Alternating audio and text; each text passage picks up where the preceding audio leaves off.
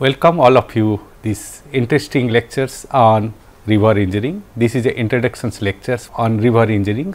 You all uh, know about uh, river engineering and you all have seen uh, rivers uh, in different part of your life, but today we are going to start uh, the engineering aspect of river concept that what uh, we are looking it and today lectures I just uh, being a introductions lectures uh, I will just talk about a brief note on hydrological issues okay? What are the issues are there in Indian uh, basins? Uh, that is the uh, V6 idea that what is the problems are there and what are the reference book and uh, eminent scientist on this subject. Then also I will talk about major river projects which is constructed okay, and what is their performance, okay, how they are fulfilling their major objective. And the recent area if you talk about the physical mathematical modelings, some of the case studies I will show it. And then I will tell you so what is the plannings of lecture series for these courses. So, that is what I will discuss on today uh, lectures. Uh, look at eminent river scientist. Okay. Let we have Albert Shields, okay, very beginning of considering the fluvial experiment in the flume, to try to understand it, the incipient motions, how the sediment particles are moving from the bed. That what you try to understand it and try to have a knowledge on the sediment transport, because if you talk about the rivers, we, we have to talk about the sediment, we have to talk about energy dissipations.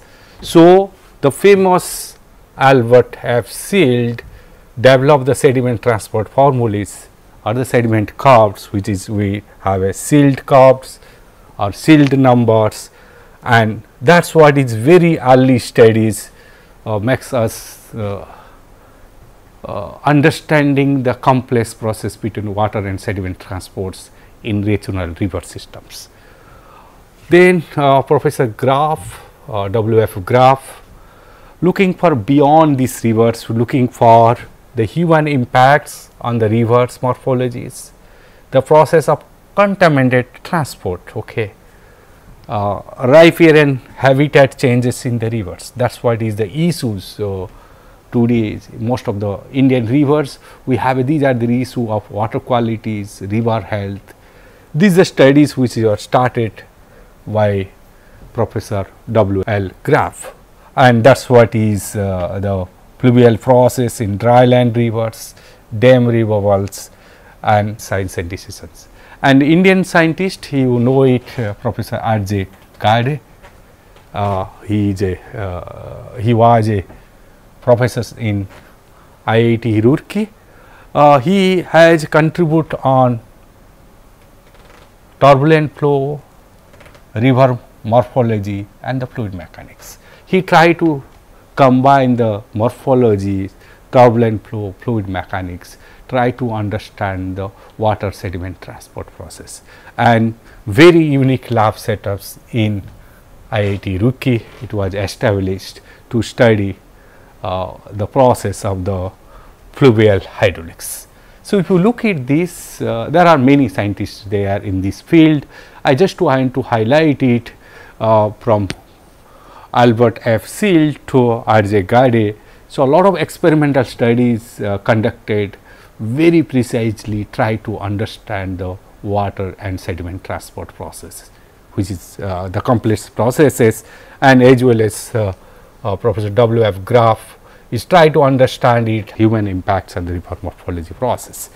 Now, if you look at today what challenge you have very interesting challenge part we have today especially uh, Indian river basins uh, today there is not having a independent process way we look it uh, like uh, hydrodynamic process separately, sediment transport process differently, morphology process differently, hydrology process are different and uh, the society, the human being interventions. All we look it in separate entity that does not happen it. All are very much integrated concept. Okay. If you talk about the river dynamic cycles, okay, how the rivers are changing it uh, is so dynamic, it is interlinked with hydrology, fluvial processes, the long term morphology change and also the driving factors like society or the human being. The river dynamic process linked to hydrology, fluvial process, morphology and the society. Now, if you look at that what it happens is in the last few decades that we have a alternative concept like a river modeling. So, okay, there are a lot of mathematical modeling concept has come out and uh, tools are available, models are available, try to look at the similar behavior of what it happens in natural rivers that what we can represent mathematical models. There are a lot of significant development happen in physical modelings that is what I will show it. Uh, there are good setup of physical model of river models are there.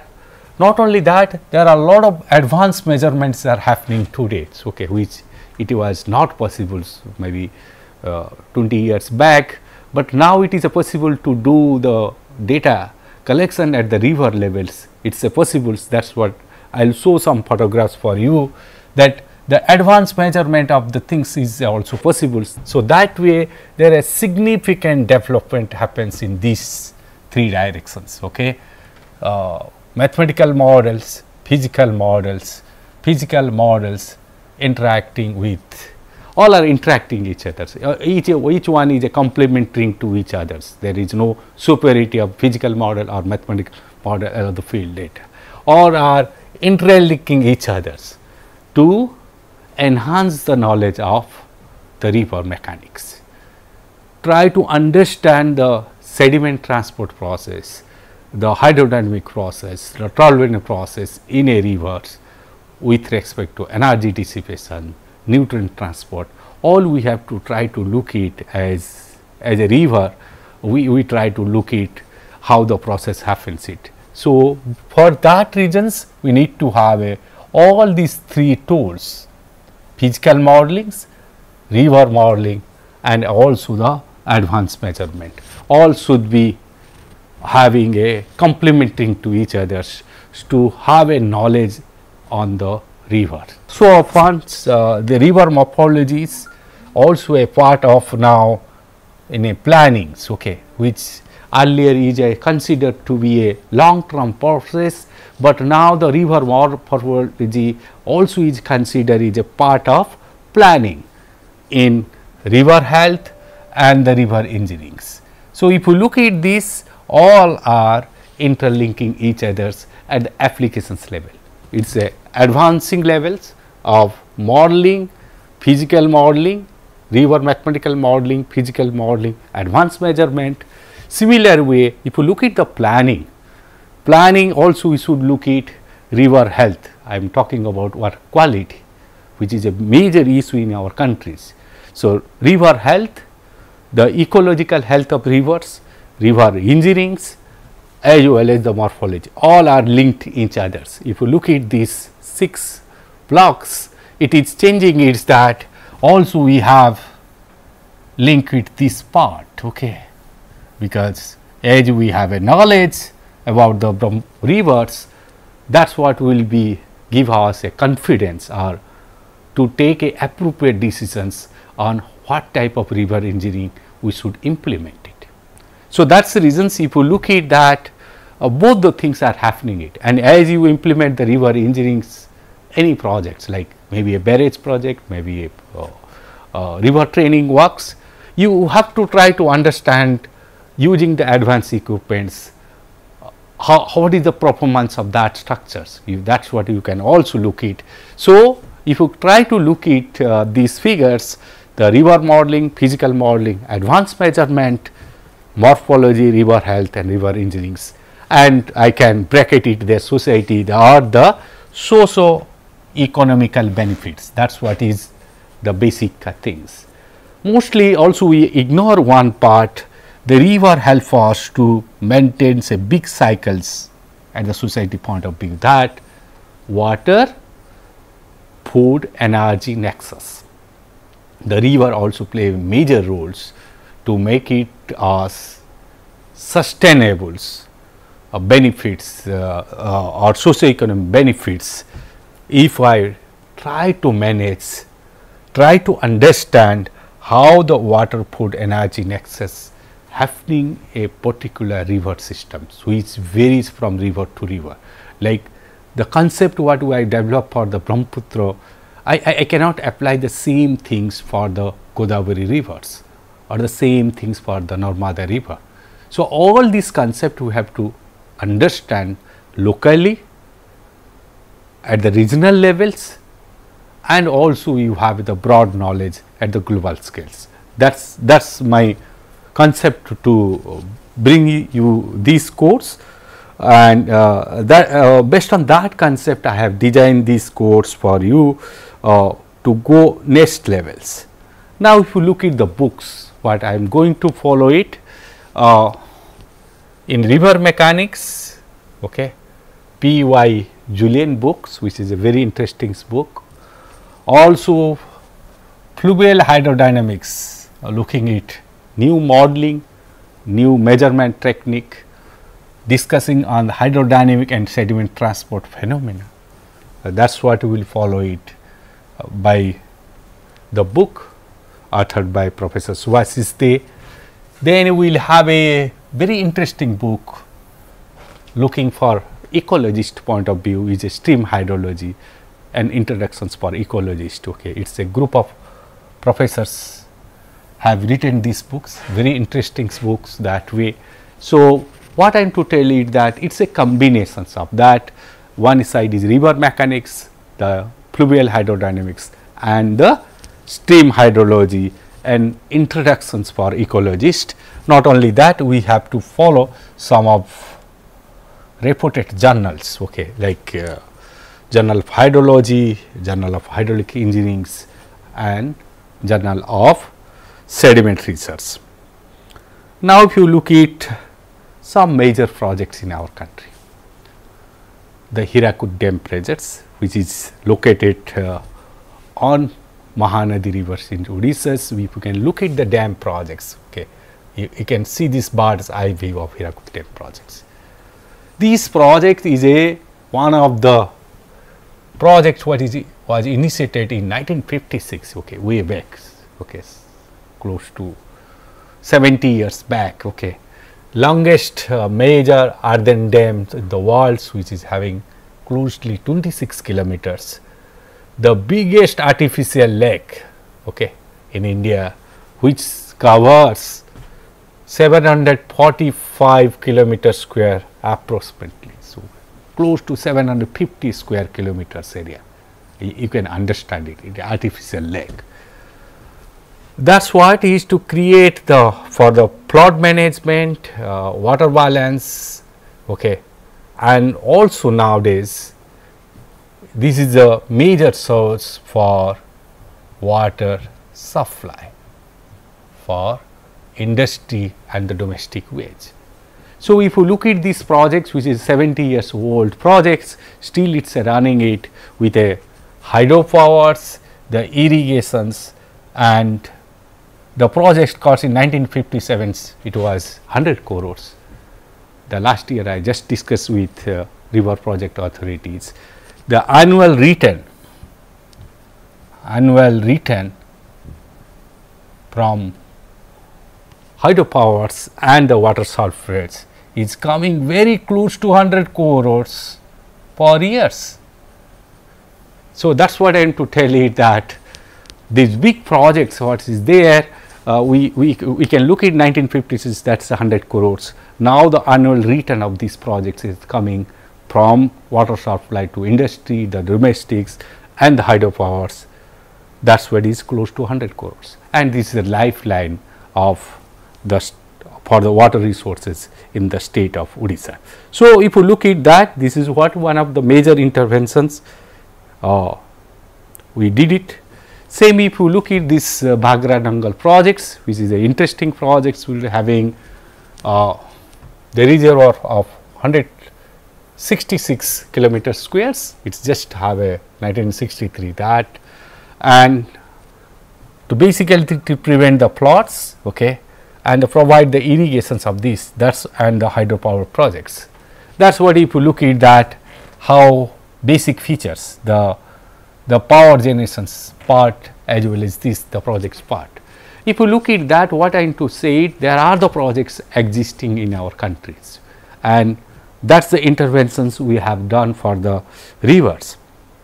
Same way uh, if you look at uh, very interesting projects which is, is the Farakka barrage projects okay uh, that is the the bridge is connecting between northeast and the the west Bengals. So, those bridge is there and four lane bridge with a barrage structures uh, is known as Farakka barrage and that is a barrage if you look at its major ob objective of that barrage to divert around 800 cumecs of the waters from Ganga to Hooghly rivers, which was a dying river. Before these projects, the uh, implementations, because be, before the implementations of the diversions projects, the Hooghly rivers, which was earlier known as the Ganga rivers, uh, many of the people also believe that is a part of the Ganga systems. So, uh, if you look at that way, uh, that Hooghly rivers regenerated by the Farakka barrage projects which provides have been providing 800 cubic of discharge diverting from Ganga to the Hooghly river systems. So, if you look at that it is quite successful projects. No doubt there are disadvantages and advantages are there, but because of these projects it sustain the basically Kolkata city. Because uh, the existence of the Hooghly rivers talks about the existence of the Kolkata city.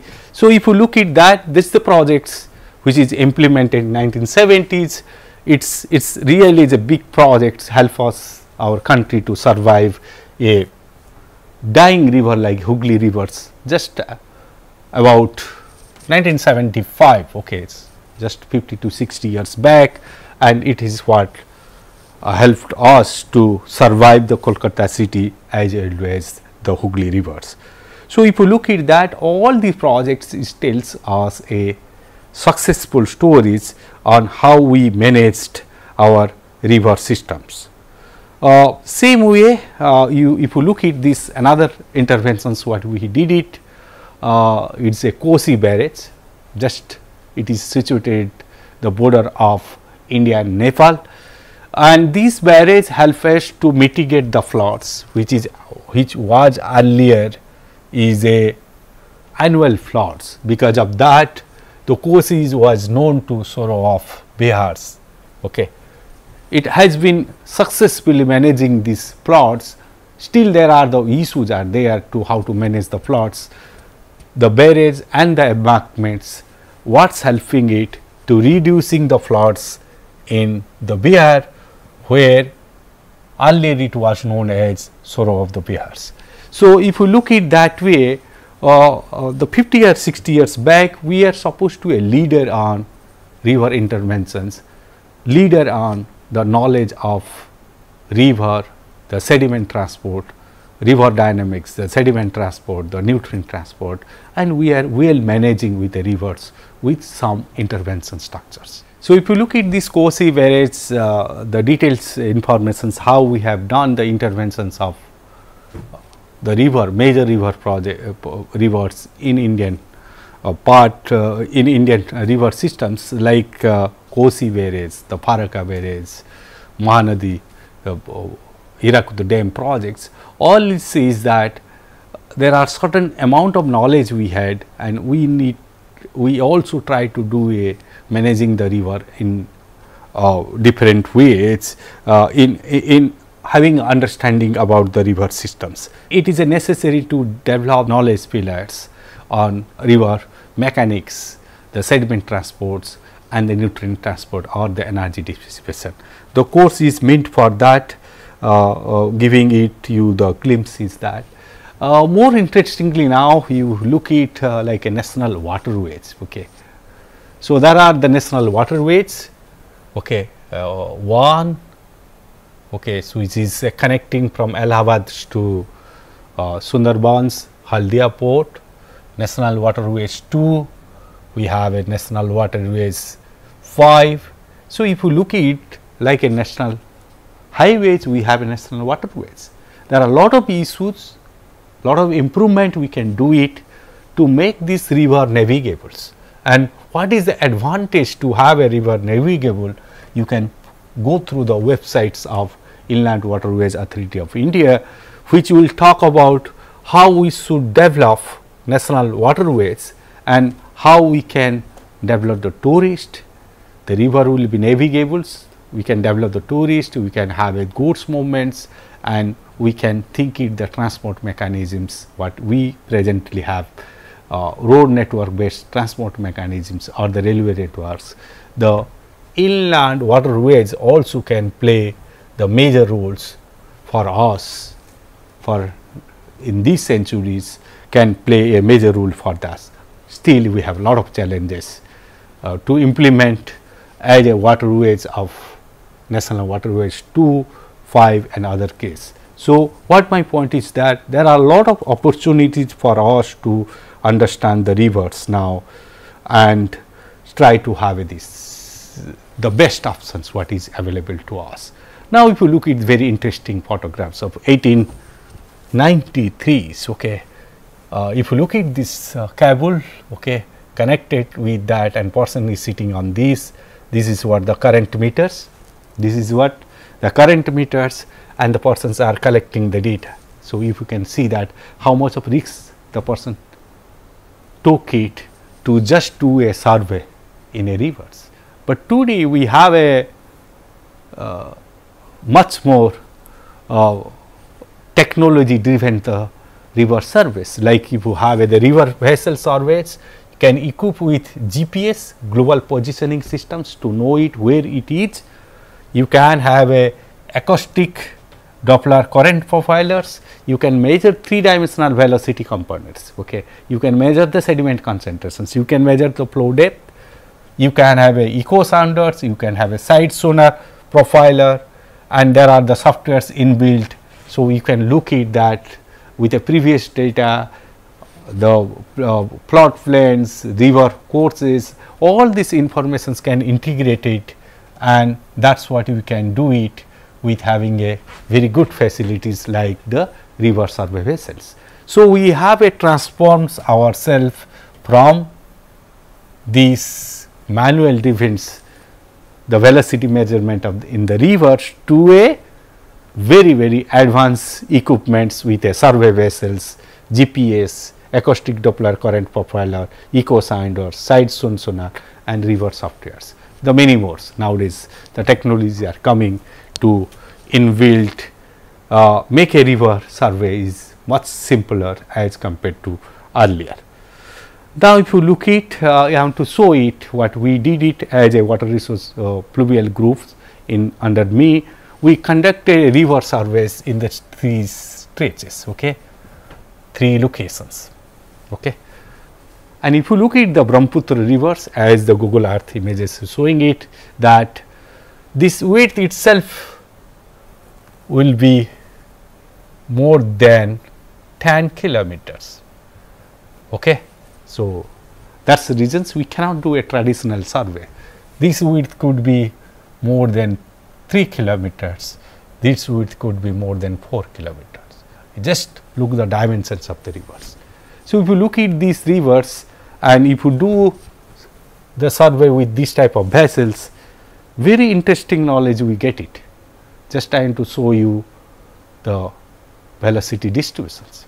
If you look at the river survey what we have done it and this is the bed and you can understand it the high velocity zones, low velocity zone, there are the secondary current formations are happening it. The vertical circulations are also happening it. This is what the field level of measurements. This is what the field level of measurement, the prime velocities are varying from 0.5 to 2 meter per seconds and the velocity vertical velocity is not that high, it is centimeter per seconds and there are the vertical circulations you can see.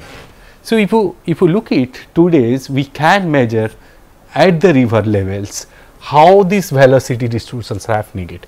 Not only that you can also have a sediment concentrations variabilities. If you can look at the sediment concentrations variability in the rivers in some cases it can go it as high it is about 1500 milligram per liters and the some case in average conditions can have a, a 300 to 400 milligram per liters. So, what I am to telling is that uh, if you do a river surveys, uh, you can understand it how the transport mechanisms are happening, how the velocity fields are happening it, the primary velocity, the vertical velocities, uh, secondary currents, vertical circulations, all the informations now today we can get it if you do a thorough survey in a river like Brahmaputra where we have a lot of challenging tags. Same way if you look it, if I replicate it into my hydro fluvial hydro ecology labs. So, if you look at the river meanders with the floodplains and we can use a instrument like acoustic Doppler velocity meters and with a color dyes. So, you can see the how the turbulent structures are happening it. All this energy distributions happening it. So, this is the scale down models that is scale down flume experiment. Now, if you look at we have real field conditions also we have the lab conditions. The same way if you look at another lab setup which is there physical river modelings at the NIT Rourkela. See if you look at the river meanders, okay. just look at the river meandering things okay. and you can have uh, these instruments with the river meanderings and you can measure it exactly how the velocity distributions are happening, how the secondary current formations are happening. I try to tell that once now we have a, the laboratory setups to try to understand it the river mechanics at the flume level. The same way if you look at that uh, like what the study we have done for Brahmani rivers which having these river photographs and the varieties and these are the all these river cross sections okay and very detailed study what we had did it as a mathematical modeling one dimensional models with a very detailed cross sections data with mathematically putting these same barrier structures here and the cross sections at this like this. If you look at that we, we also got very interesting results conducting this mathematical models.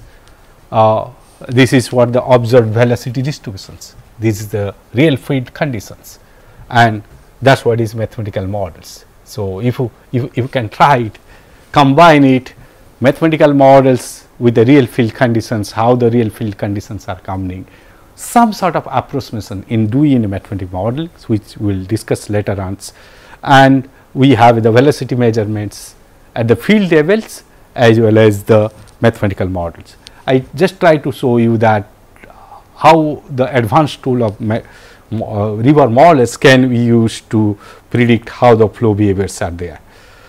Same way also we conducted for dam break analysis for a rivers which is Kapili river in Assam.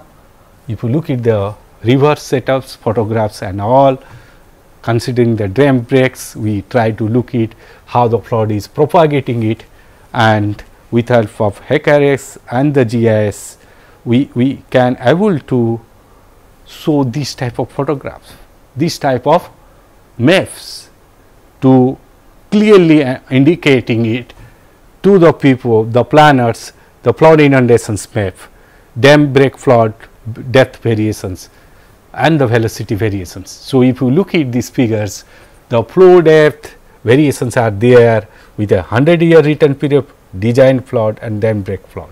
So, if you can prepare this type of plot zoning map for a by conducting a mathematical modelings, detailed cross section informations and then if you prepare this of the data, uh, I, I, think this will be really great helpful for planning this plot uh, management strategies, which we, which we generally do not do it.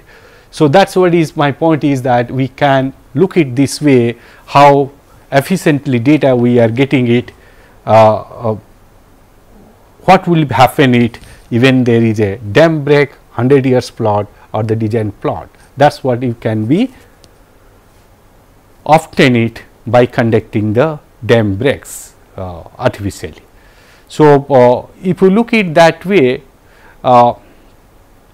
uh, uh similar way I can have a lot of examples which I will be uh, discussing in my lecture thoroughly. So, uh, if you look at that part I need to design the course layouts in the three ways. One is basic knowledge, second is the advanced knowledge we should have, third is that you should have a design practices. What is the design practice happening? Because we have to protect the river bank, we have to have the planning of the plottings, also we have to look for the water qualities, the ecologic point of view. Looking that the first few lectures will have a physical properties of the sediment where we talk about uh, shape of the sediment particles, size distributions, terminal and fall velocity, suspended sediment mixtures which is a basic knowledge of sediments. Okay. Then we will talk about hydrodynamic. Here I will go for mass conservation equations, momentums and energy equations from 3 dimensional to 2 dimensional approximations like Saint-Venant equations part. So, the basically will go for 3 dimensional structures to the 1 dimensional with a simplifications river models. So, which is advanced knowledge will be there. The river flood waves which is very critical which we talk about celerity, diffusive waves, loop rating curves with advanced knowledge on the flood waves that is what will be there. Then we have a sediment transports in the rivers so, basically we will talk about near bed hydraulics, bed load, suspended sediment concentrations, turbulence boost, bursting. This is a very interesting problems. The knowledge, the recently last two decades what is happened, the turbulence characteristics, the sediment transport that what is as advanced knowledge levels that is what I will design. Then we have a river equilibriums, river dynamics which is required for designing a stable alluvial channels. We will be discuss about the regime relationship, channel stability, particle stability, river meanderings. Same way we have a river dynamics which is a morphological knowledge is necessary for appropriate river training work. Uh, not only that, uh, there are very interesting river bank stability things we also we do talk about where we will talk about bank erosion process, river bank riprap revetment which is a design concept, river protections work, river flow control structures that is what we will planning for river bank protections. River bank stabilizes mostly the design concept, the difficulties and the designing all will be discussed on that. Then we will come to river engineering where we will talk about more interestingly bridge scour, navigations waterways as discussed of national waterways, locks and dams, the dredgings. So, this is what the advanced level of designing and planning for the rivers. Then you will have the physical river models which will have a one lecture talking about the difference between rigid bed models and mobile which is a part of the design whenever you do a any big projects we do mathematical model as well as we do the physical river models. That is what we plan it with a 24 lectures okay, including today introductions lectures. Before uh, leaving these things I just want to show you that whenever you try to understand of the rivers, first you sketch a rivers. When you sketch a river, you will have a knowledge about the rivers. Just I am a, a preliminary sketching is what I am doing it. The river, if you look at the planforms, it never follows straight path. Okay, that's what is the concept is that as it never follows a straight path. If I take the cross sections at the different points, okay, like uh, at this point that if you have the river cross sections, okay, at the point A and the point V sections, the cross sections of A because of the centrifugal forces you will have these values. Okay. If you look at that uh, you will have a cross sections like shape like this. So, that means you will have a this is the outer band and this is the inner band and you will have a uh, you will have uh, super elevations you will have a secondary current formations. But if you take a section at N to A same way if you talk about the B and B you can have a, a simple parabolic structure profiles with having smaller small current profiles like this. So, here the centrifugal forces is making a, a strong secondary currents the same way the secondary currents were will be there here, but that strength will be much lesser than this part. So, similar way if you always sketch like this same river if I have the floods okay that is what if I have the floods okay. This is what that that means the river and the water will be there in the floodplain regions. Will be there in floodplain regions. So, if I just sketch it the cross sections will be same way and here there will be the vegetations in the floodplain area. And here you have a bed materials and you have a vegetations here. And this is the flood levels.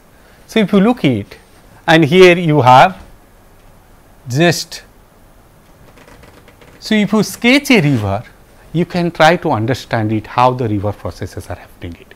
So, what I am trying to say it whenever you have uh, not understanding the river mechanics, I try to encourage you sketch a river. If you sketching a river, then you can try to understand it that what is happening it. You just try to make it a sketching practice uh, as a river engineering specialist you can do a sketching and we can try to understand it how the river process is happening. With this let me I conclude today uh, introductions classes and uh, talking these quotations which is given by Mohandas K. Gandhis okay, uh, that earth provides enough to satisfy every man's need no but not every man's greed. Okay that is the basic understanding we should have for a river management concept. These are my uh, PhD students who are helping for preparing these course materials and I would thank you for them to be part of this, but uh, with this uh, let, let me I conclude this lecture. Thank you.